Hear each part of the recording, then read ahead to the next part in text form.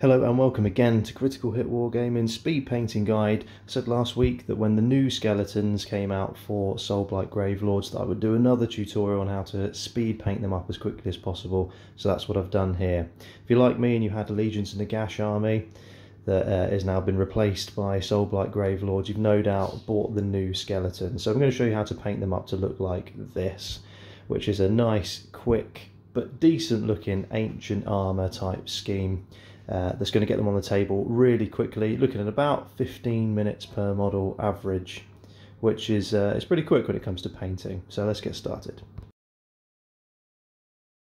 Step one is to undercoat the model black and then we're going to go straight in with some dry brushing on the cloth areas. Here I'm using Eshin Grey and that's going to create a nice base layer for us to do a second round of highlights in a moment. So just go around the entire model, being careful not to let it wobble too much on the top half because it's some delicate joints holding it all together.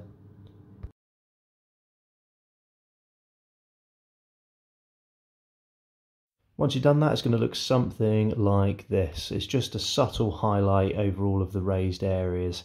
Uh, and then we can add a second layer now, which is going to be with Dawnstone in this case. Now it's worth noting you can use uh, other types of grey if you want to. You can use Stormvermin Fur and things like that to create a dingier look. Or if you want to, you can just paint the entire cloth with uh, the colour scheme that matches your army. So you could do it purple, you could do it red, and that's going to add a little bit extra time, but it will be in keeping with the theme of your army. So I'm just going around there and catching all of the most raised areas with uh, with that Dawnstone.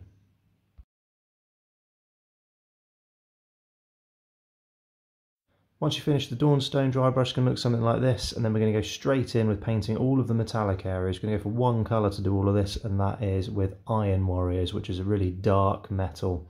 Uh, we're going to paint all of the armour with this so make sure you get all of the armour on the feet so the greaves, the shield, the helmet, any chainmail and any blades like the swords or tips of spears.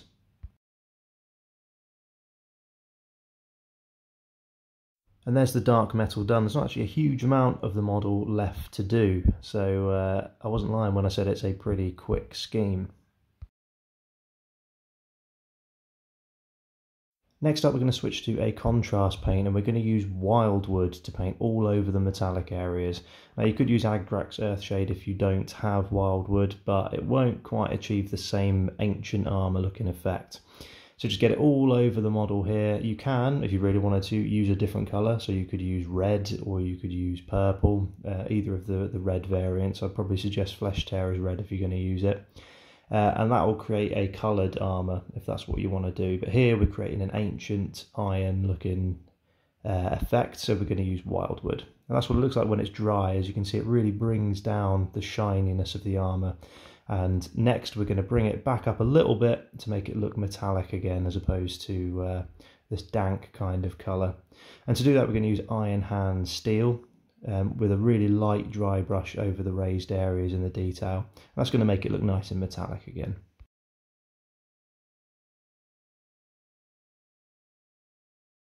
And with that done, the model is really starting to come together now. There's not many steps left. It's mainly just painting the bone and the straps and we're pretty much done. So that's what we're going to go on to do now.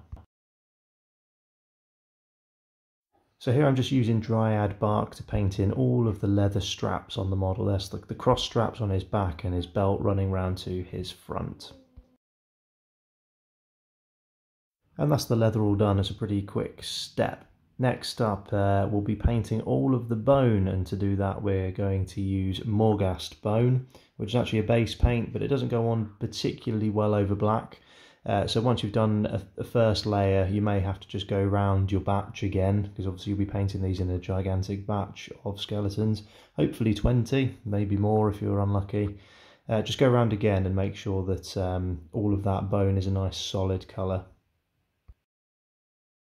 It's worth bearing in mind that you may prefer actually to paint the bone first and then the leather straps afterwards. It really doesn't matter. Um, I just did it this way around because I was fairly confident I could paint round the straps with my bone colour. And that's what it looks like when it's all done. So we're really, really near the end now. It is just a case of putting some Agrax Earthshade on all those leather straps and on all of that bone and we're pretty much there.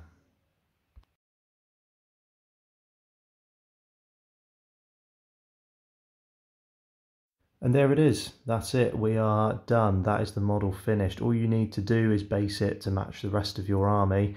And uh, that's your Deathrattle skeleton done. To get through your entire unit, it'll probably take you three or so hours. But to paint 20 models, that is uh, really, really quick. Obviously, you're going to get faster and faster as you go through painting them. I've tried to be pretty neat on this one, but you don't have to be. Here is another one I've painted. Um, this I've decided to use the basing technique that I used in the other video on the first Deathrattle skeleton, so go and check that out if you want to know how to do it. But in short, Astrogranite with uh, Nightshade over the top and then dry brushed a light grey, in this case Longbeard grey.